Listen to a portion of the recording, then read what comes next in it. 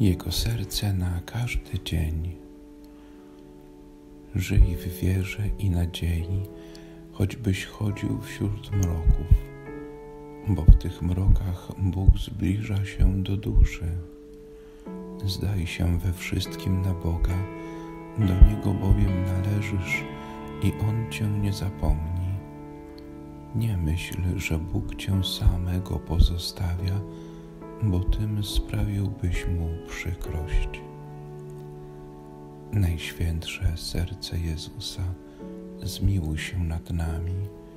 Niepokalane serce Maryi, módl się za nami. Jezu, ufam Tobie.